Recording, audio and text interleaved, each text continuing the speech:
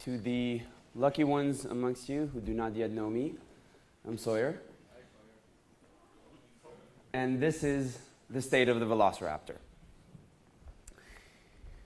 It is YAPC::EU 2015. The theme for this one is art and engineering. And we always try to make the keynotes on topic. So I was thinking about art. We're in Spain, a place that inspires art, that is inspired by art. We're thinking, what can we do with this? So we're thinking about the name of the talk, the name of the keynote, State of the Velociraptor. Maybe we can do something with that. The obvious thing was to remove the Velociraptor and put in the word art, state of the art. That's not very ingenious. So we're playing with this. Uh, maybe putting the word art there and have state of the art instead of the Velociraptor at the same time, maybe that will work. But that's not proper English, I'm told. so we tried artful. Um, we thought about restful, but that, no, that's not good. No. So, okay, something else. Um, Arceloraptor? Playing on the joke of the original name, so maybe that one. I like this one. Tyrannosaurus regex. It's pretty good. I think we stopped when we came up with this one. The problem is that when I try to pronounce it, it sounds like this. And in my mind, I think that I sound like this. So I decided to go with State of the Velociraptor. We'll keep it, but I'm just going to put in art there as an optional thing. If you want to use it, go ahead, and if you don't, that's also fine. Now, this talk was originally done by Matt Trout, an Englishman who has redefined the term drugs. and I want to start with a big thank you to Matt. Um, he's probably off in some corner, furiously writing code, or more likely nursing a bad hangover, from the night before. Either way, I want to say thank you to Matt. Um, so Matt's, Matt's not doing this this year, and I'm not as entertaining as Matt. My English is not that good, but I know my accent is clear. the question then is why am I here? And I think the best way to explain it is try to think of James Bond or Doctor Who. It's a role that is passed on. Maybe a better way to explain it to you is that it's kind of like how an API stays the same, but the implementation changes? because, you know, I do ask myself why I'm here. And it's a, it's a question I often ask myself, and so do my colleagues, my friends, my family. But that's actually not the point that I'm making. So this year, it's me. And I hope you'll enjoy it. So moving on, what is the state of the velociraptor? Something that we can ask in different ways. We can ask, what is the state of the velociraptor? Or we can say, what is the state of the velociraptor? Or if you're Lisp inclined, you might ask, is what of the state the velociraptor, which makes perfect sense. The state of the velociraptor, as a talk, has always been a way for us to talk about Perl. Now, we do talk about the Perl language quite a bit. But the state of the velociraptor is a way for us to talk about the Perl community it's a way for us to talk about you, to talk about us. And we all love Perl. It's a great language. It is dynamic, but it's not just dynamic, it's flexible. It's not just flexible, it's elastic, right? It's strong, it's fun, it's interesting, and, well, occasionally it's also surprising. And Perl has a lot of great features and we always discuss what is our killer feature. I would like to rephrase this as our key feature. So, what is our key feature? What is the best thing in Perl? Is it the expressiveness in Perl? When you read variables, you usually know what they are, unlike a lot of languages. Um, we try to write code in the same way that we would read the code, which is really interesting.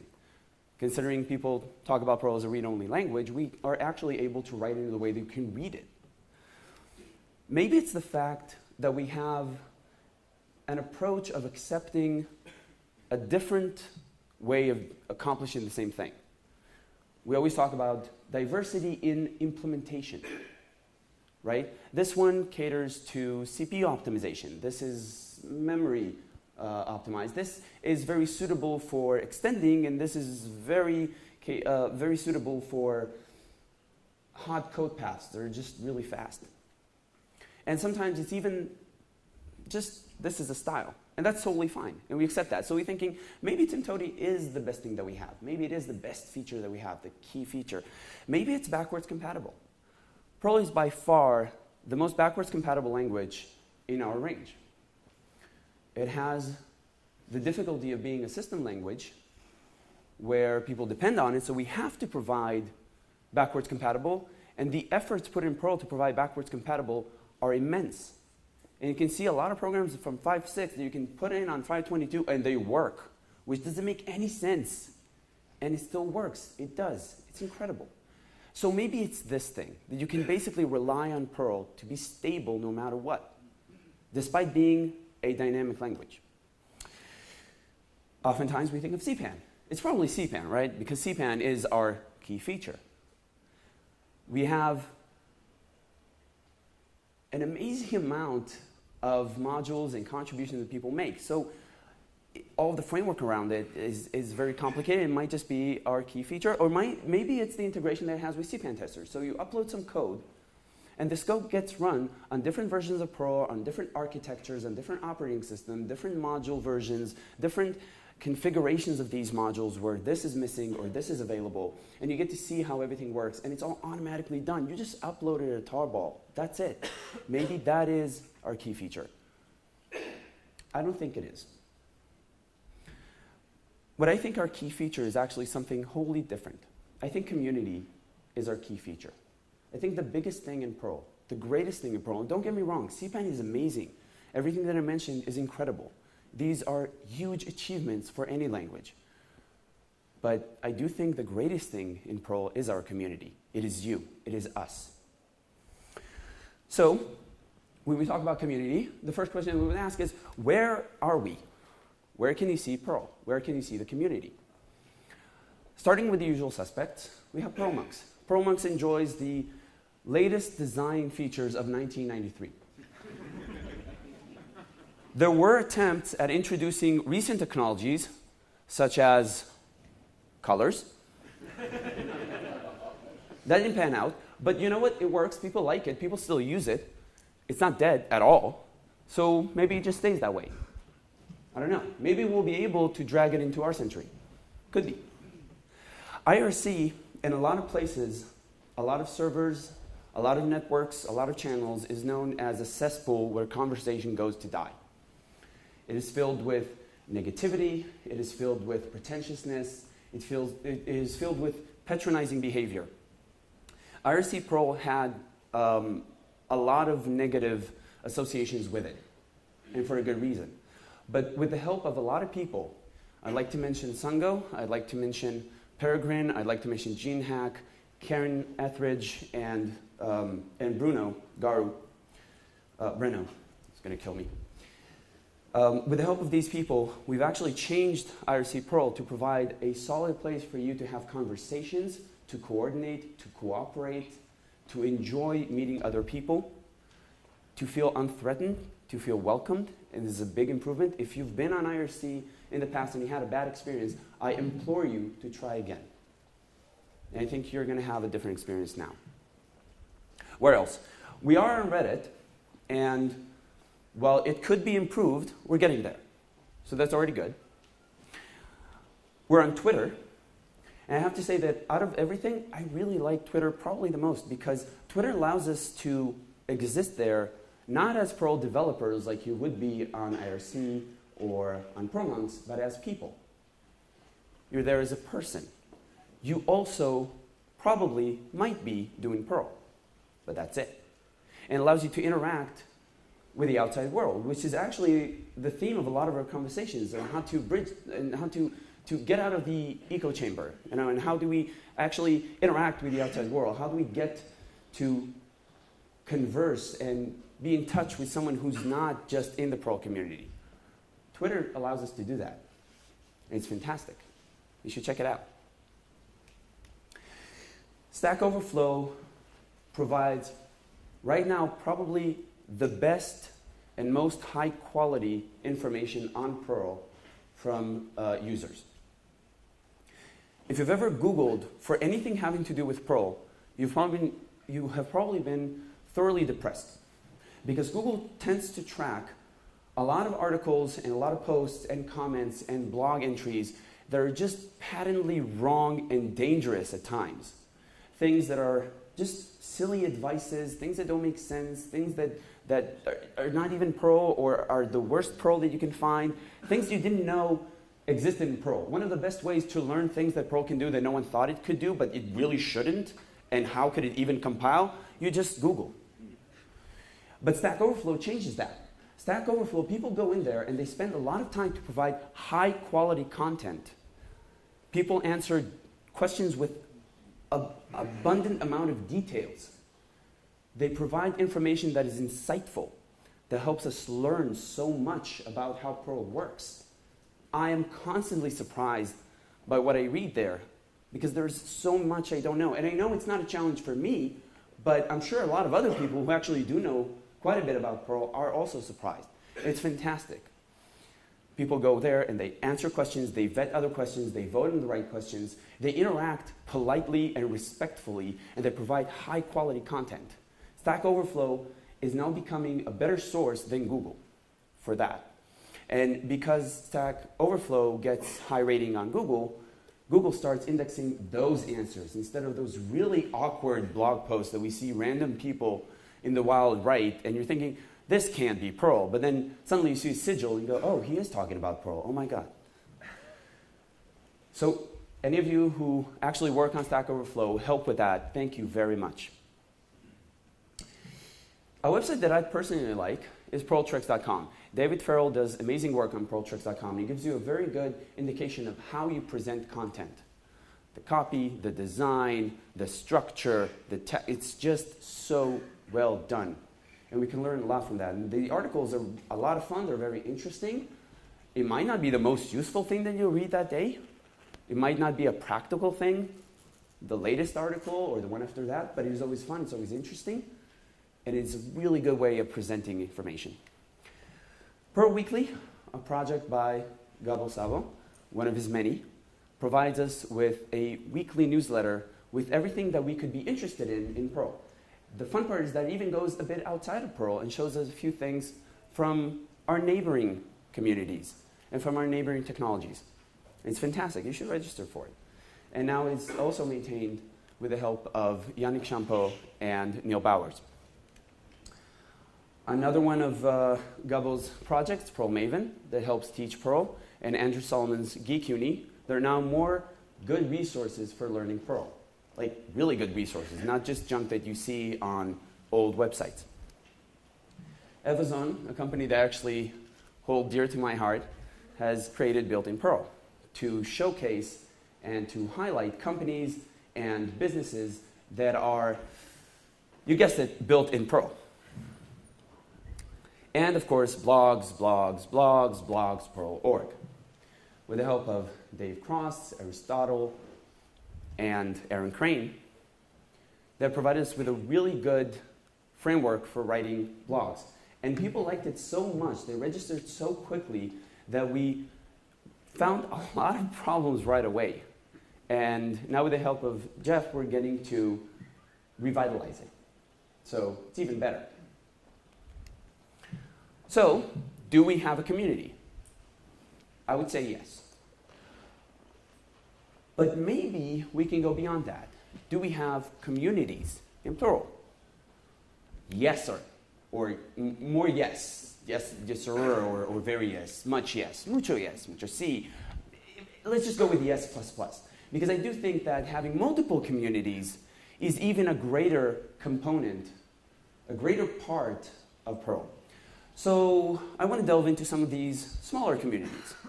And of course, I would gravitate, because I am biased, to first of all, web frameworks. We have a lot of web frameworks, we have a few big ones, and they have their own smaller communities.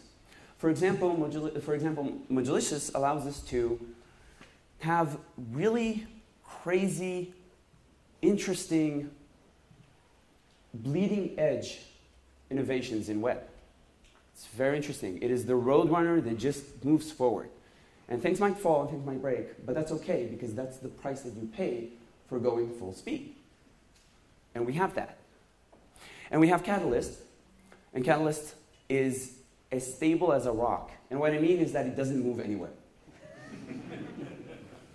Although it's just a tease, because Catalyst is actually still being developed by John Napiorkowski. So it actually is, con- uh, it has continued development. It has a very large um, community of users. Dancer tries to kind of fall in between those, where it's stable, but it will change things and it will move forward. Um, it will add features, but probably not as fast as Mojolicious. Definitely not as fast, and that's okay, because we have different niches. And a lot of these communities actually share the same people. And there's Web::Simple that basically provides the smallest, simplest syntax for dispatching. And these communities have a lot of success. Mojolicious had their first conference, it's very successful. Dancer is organizing its second in October. And Web::Simple, Web::Simple has its own IRC channel. So, that's something. What else? What other subcommunities do we have? Um, the tool chain, CPAN workers, including CPAN testers. These are people who work really hard on all of the modules that our modules depend on. They work on all of the infrastructure that our applications rely on. That's the work that they do. Probably in the shadows, when I was looking, very quietly, murmuring obscenities at what we do. but they do amazing work. And it is, it is fantastic. And I want to say thank you very much for everyone who's working on the tool chain. We really do appreciate it. Another subcommunity that I think is either underrepresented or is misrepresented is the P5P. P5P stands for Perl 5 Porters. This is a loose affiliation of programmers who maintain and develop the Perl 5 language. They are the Perl 5 port developers. They're developing the language itself that most of our work depends on.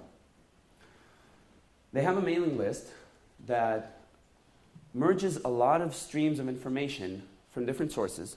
It makes it a bit harder to track.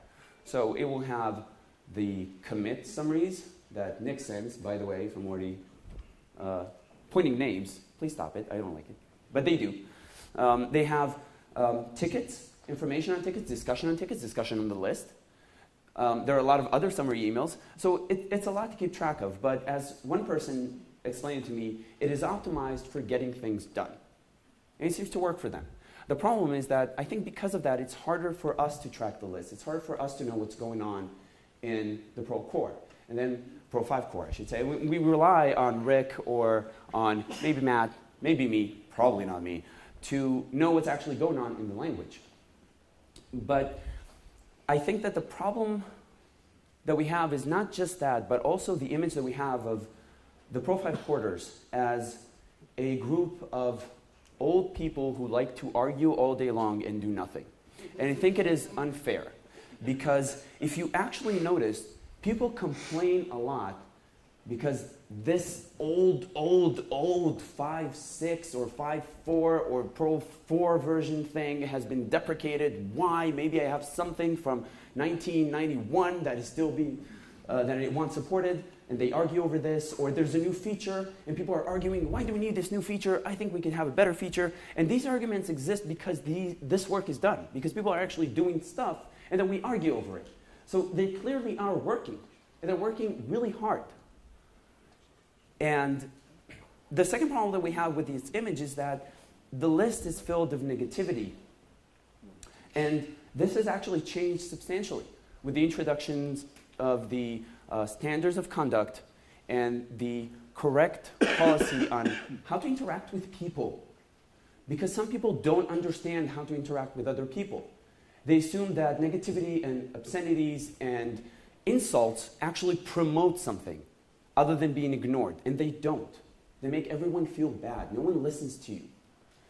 And for a lot of them, you know, you know trying to develop something in an environment that insults you all the time, that is negative all the time, it's really hard. I'm amazed that we still have all of these people working on it. The good thing is that this has changed. There's a standard of conduct. You have to behave towards people as human beings, and you have to be respectful, even when you vehemently disagree. And that has changed. And I think that we have to recognize the big effort that these people are doing. And I want to say a big thank you to all the Perl 5 porters. I released one version of Perl. I can say that it was very difficult to do, and 99% of the work was actually done by everyone else other than me. And it was still very hard, and I can only imagine the work that they do. And they deserve a good thank you and to be recognized for it.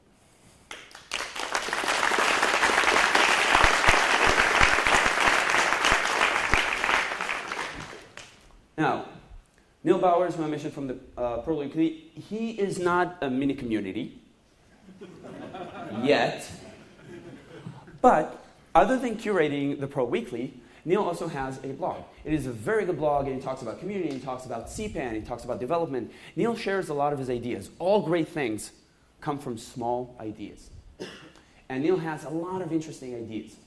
He had one very interesting idea last year, at the end of the year. He said, Every month I will pick a module. And whoever asks me for a module to contribute to, I will provide that name and you contribute to it, let me know, and each month I will give you a new module. All you need to do is submit a contribution, one or more, using a GitHub pull request, okay? Which is the equivalent of a patch. And every month I will send you another one once a month, every month, and he called this the pull request challenge. I spoke to Neil about it, and he said, Yeah, I, I was expecting, I was really expecting a dozen people. I was hoping at least 12 people would email me and say, I would like to have a module a month to contribute to. These are people who wanted to contribute to something meaningful, something important. And there are a lot of modules that could use help. So he was hoping on at least a dozen. He also said, I, I wished I would have up to 20, because 20 people, that would be great. For a British person to say great, that is amazing. Come January, first month, he had 365 people. This was not good enough to just email him personally and get an email back and that's it. It wasn't that easy anymore. Because he actually tried to curate important modules, not just things that need help, but those that matter, those that people depend on, those that have issues waiting, issues that were waiting a long time. He actually worked really hard in curating this, and he, he wrote a lot about it in his blog. So it wasn't that easy. And what people actually did was start working on the pull request challenge. So we created a GitHub organization. Uh, with the help of Pobox.com and Rick, we got a discussion mailing list so people can converse and can talk about it and co- coordinate. And we started writing guides and writing documentation. I even wrote a guide. So people who said, well, I want to contribute, but I've never done this. How do I do, how do I create a pull request? You know, so we started writing these guides. What do we do if the author doesn't answer? What do I do if the author doesn't agree with what I'm thinking I should contribute? How can I try and reach the author again? So all of these queries, and, and we now have a discussion list, and we talk about it. Um, the number, by the way, 365, he said that one thing uh, he, noticed, he, he noticed it boomed and then he got one email that said, dude, you reached the Hacker News top story. This was on New Year's Eve. So he wasn't expecting that. None of us uh, were. And this project is still going on. So far, it had 480 people in it. It's pretty amazing. That is amazing. Talk about outreach. These people have contributed, these people have helped. They fixed a lot of problems, they improved a lot of modules, they learned a lot, they taught each other a lot. It's fantastic you can join today. It's still early. You don't have to, though. There's always tomorrow. So, if you want to join, just email neilb at cpan.org. Email him, say, I'd like to join. That's about it. The next subcommunity, the pull request challenge being a community in itself, another one reminds me of YAPC Asia. That's where I start. Last year I was at YAPC Asia. If you wonder how many people they had, over 1,300 for a YAPC. And they thought, this is just, wow, we can do better. This is a joke. So they upped it. They got over 2,100 people this year, just now. Now, let me help you fathom what it means to have over 2,100 people at a YAPC. How many people do you imagine go to YAPC Europe or to YAPC NA if you go there? 300? Let's, let's kick it up a notch. Let's say 400. You know what? I'll give you 500.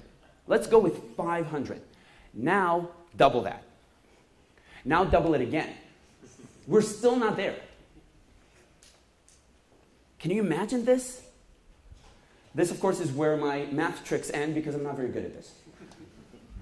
But, but going back to YAPC Asia, it's incredible. It's amazing. And here's the most interesting statistic it's almost exclusively Japanese. YAPC Europe has all of Europe, people from the States. YAPCNA has all of America, North America. It has people from Europe. But YAPC Asia, almost entirely Japanese. How many people here went to YAPC Asia? That's it. And some of you are Asians who lived in that area or live there, and some of you are Larry. So, and that brings me to Japan. I don't know that much about Japan. I went to YAPC Asia. It was amazing. I can tell you, though, that they do have amazing hackers. That I know for sure. They have a lot of Perl going on. If you ever think about Perl and you don't know how many people actually use it, ask them what they're doing. They're doing incredible things, and they're really nice people. But the problem is that there are a lot of barriers in the way. There is a big gap between the Japanese community and the European community and the North American community. These are barriers of language, barriers of culture. There are differences. These are not differences that we can't bridge. They're not easy, but it's possible. Okay?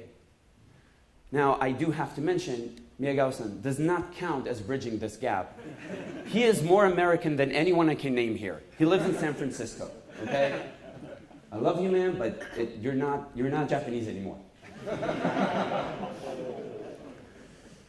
so, going to Asia, I can tell you that it was a very difficult experience for me because of that gap. And I can imagine that for them it is even harder we actually have quite a few of them joining us today. They traveled over 20 hours. They spent the night in Madrid, if that says anything, on commitment.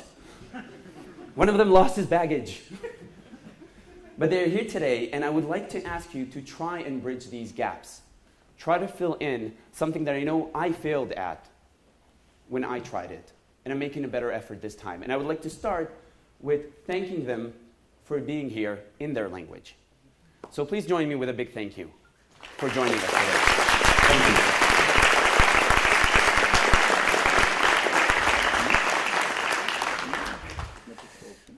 This year we also hit a few milestones. I'm going to mention just two. CPAN, which we all like, has reached its 20th anniversary for its first upload. Did you know? Just this August.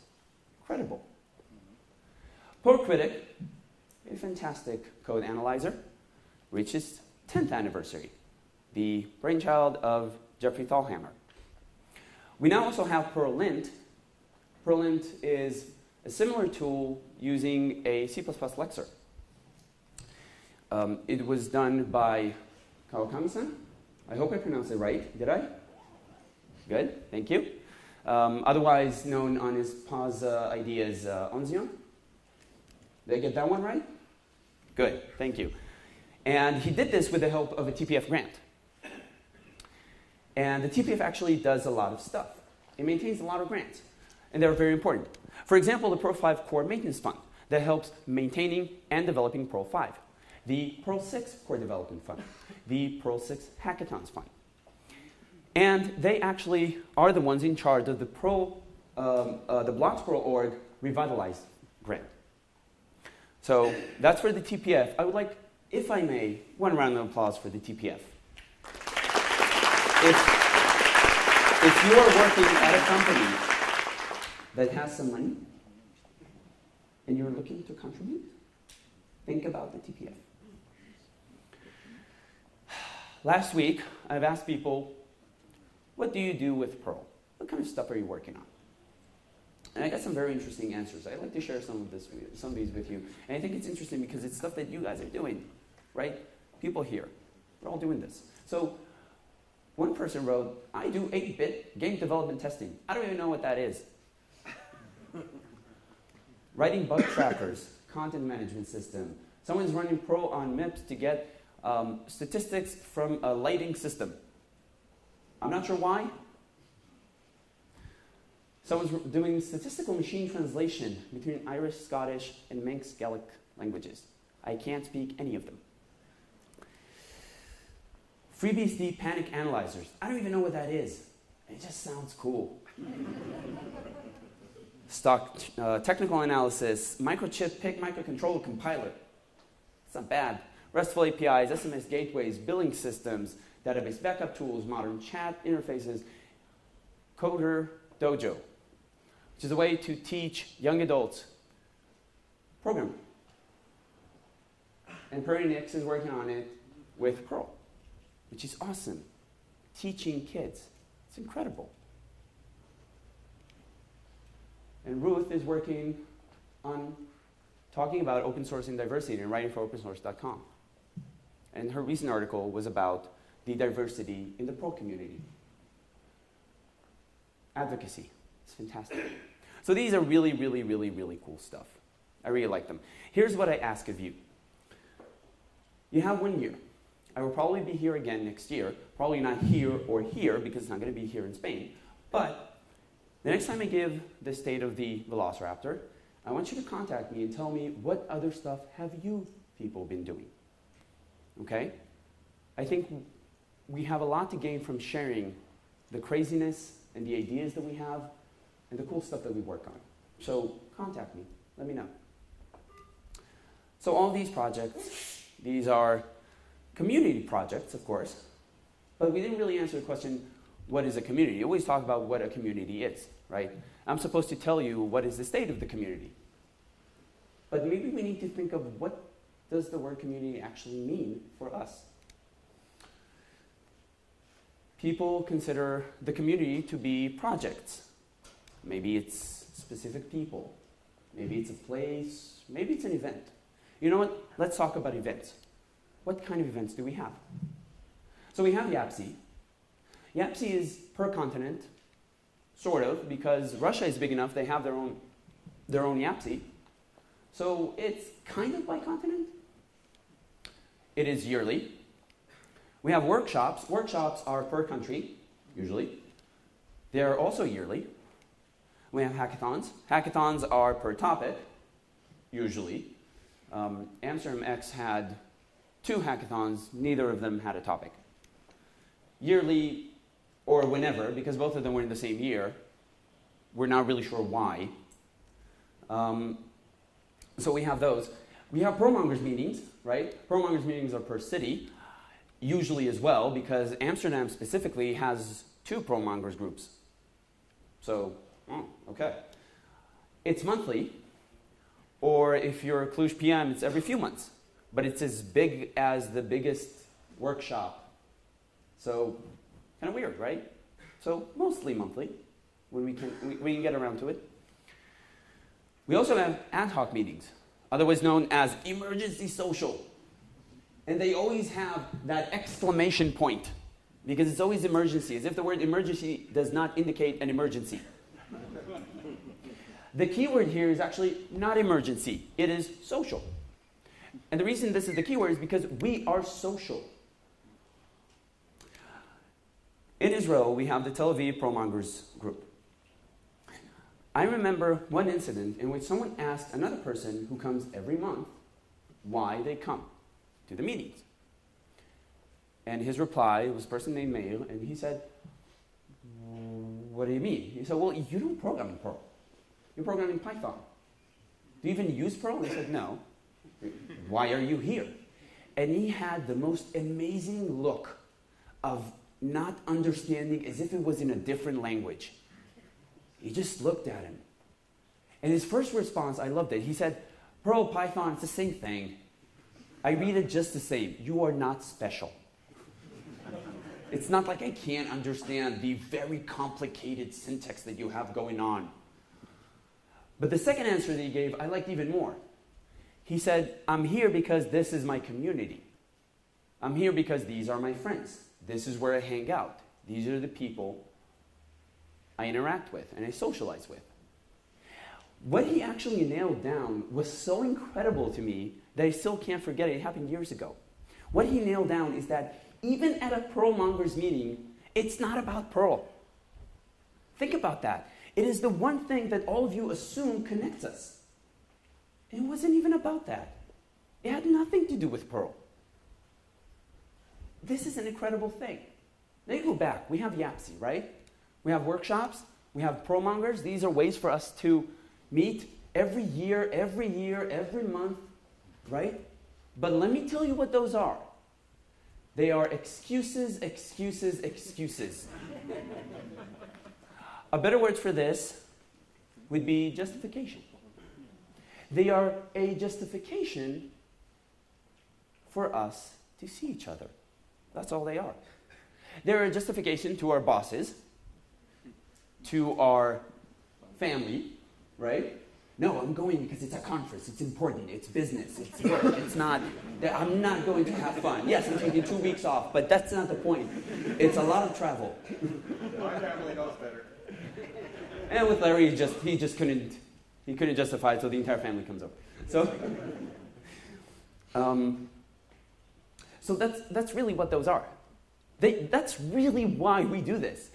We want to get together. That's it. That's why we do it. This entire thing. You people are smart. You can understand this material when you read it at home.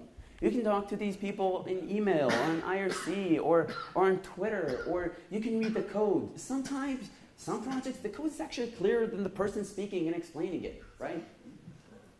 But we want to get together. That's what we want to do. It's an excuse to get together. So, we go back to a community. What is a community? Well, now I can at least tell you what it isn't. It is very important to be clear about this. The community is not a tangible thing. It isn't a specific person that you think of that you see in the audience, or that you see on CPAN, or that you see on YouTube. It's not these people.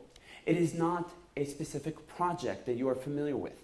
It is not a location, it is not an event, it is not code.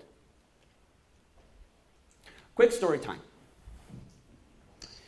I go to Cluj Napoca quite a bit. It is the Cluj PM home. I was invited there once. I basically didn't really leave I'm just going on vacation to work. And I went there with Upasna Shukla, Theo Van Hoesel, and we went to, the, to a meeting there. And if you know these people, you're probably thinking, uh oh, because it's uh, one Indian, one Dutchman, and me. And the interaction is just really funny. Or maybe if you're Scooby Doo, you're thinking this, right? Now, when we went there, one weekend, Jorge and Natasha, who are here, I know, I'm sorry for embarrassing you, told us, hey, we're going this weekend to a remote cabin. Would you like to join us? Of course, we jumped on the idea. When we heard a dog was involved, oh, wow, that was the easiest decision. And we went to Buchu, which is uh, a mountain area far away. It is beautiful, it is remote, it is so quiet. There's almost no one there. There are very few houses, no running water, and you walk for so long and you climb mountains all day long. It was so much fun. And we spent an evening on one thing, other than a very difficult puzzle. It was to explain to Upasna how to pronounce where she lives. The name is Haspelplas.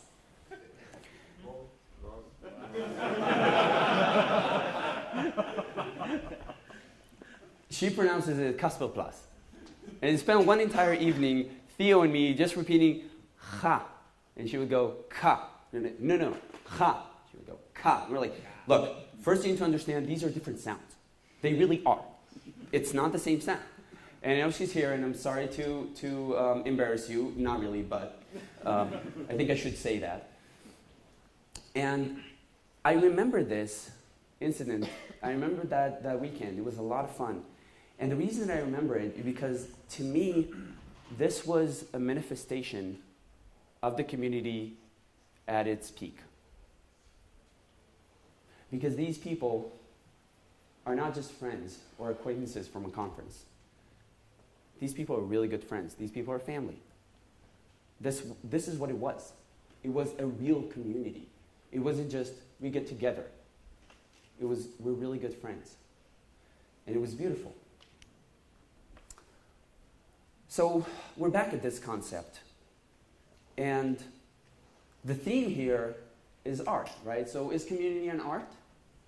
Can we somehow justify my entire keynote by somehow binding it to the original idea of the entire conference? Maybe, sometimes it might be art if you do it right, you know. But at the end, or I should say EOD for end of day, a community is actually about family. A community is about one very important concept. Is about a home. And I have a very personal request. Take a look at how we work, how we operate, how we converse, how we communicate. Are we providing a home to each other? Are we providing a family to each other? I think that in a lot of places, the answer for me would be a very clear, resounding yes. That's the reason that I'm here. I could probably learn another language. I actually do write in other languages if I need to. I know that Perl fits in my head, and that's why I use it. It thinks the way that I think, which actually doesn't say a lot of good things about me. but at the end, I don't look at it as a job. I look at it as my community, clearly because it is a home. And I consider the people in the Perl community my family. It is a very strong concept. It's a very strong idea. And my request for you is to think it over and try to think of what can we do to increase the community as a home, as a safe place, as a family, a place where you can communicate to others, a place where you enjoy having conversation, when you have laughs, when you have a good time, where you learn, where you teach. Think of how we can bring more people into this family. They don't even have to code in Perl. Has nothing to do with that. And how can we make this family bigger? How can we make it into a bigger home? So at the end of this, I have to do this thing. I have to answer the question that I set up at the beginning, which is practically the reason I'm here. The question was, what is the state of the velociraptor? If the velociraptor is a way for us to talk about the community, the question is, what is the state of the community? And I think that would probably try to summarize it with were we able to provide a home? And ask yourselves this question Are we able to do this? Are we doing it? Is this what we've done? And I think that if I got that feeling that it's a home, if any of you had that feeling, then I think we did pretty good. And our state is not bad. Thank you.